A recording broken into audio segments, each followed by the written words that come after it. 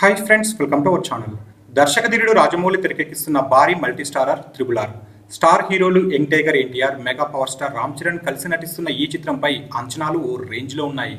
ఇక రామ్ చరణ్ మన్నెం దొర అల్లూరి సీతారామరాజుగా కనిపిస్తూ ఉండగా young tiger NTR Komaram Bheem పాత్రలో నటిస్తున్నారు.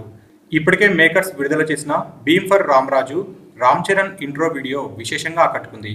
ఎన్టీఆర్ వాయిస్ ఓవర్తో రామ్ చరణ్ పాత్ర హీరోయిజాన్ని ఎలివేట్ చేస్తూ సాగిన ఈ వీడియో సినీ అభిమానులకు మంచి అనుభూతిని పంచింది. ఈ క్రమంలో ఎన్టీఆర్ పుట్టినరోజున ఆయన ఫస్ట్ లుక్ మరియు ఇంట్రో వీడియో రిలీజ్ చేస్తారనేసి అంతా భావించారు. కానీ కరోనా పరిస్థితుల కారణంగా ఎన్టీఆర్కు సంబంధించి ఎలాంటి అప్డేట్ ఇవ్వలేదు. ట్రిబులార్ చిత్ర బృందం ప్రకటించింది. ఇక అప్పటి నుంచి అభిమానులు ఎన్టీఆర్ అప్డేట్ కోసం ఆతృతగా ఎదురుచూస్తున్నారు.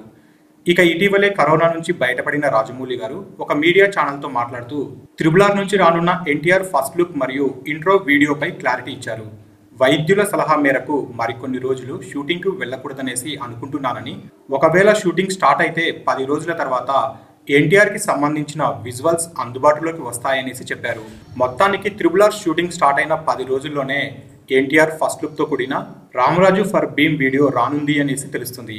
ఇక మొత్తానికి త్రిబుల్ ఆర్ షూటింగ్ స్టార్ట్ అయిన పది రోజుల్లోనే ఎన్టీఆర్ అప్డేట్ ఇస్తామని రాజమౌళి గారు స్పష్టం చేశారు. దీంతో త్రిబుల్ ఆర్ చిత్ర షూటింగ్ ఎప్పుడు స్టార్ట్ అవుతుందా అనేసి ఎన్టీఆర్తో పాటు రామ్ చరణ్ అభిమానులు కూడా ఉత్సాహంతో వెయిట్ చేస్తున్నారు.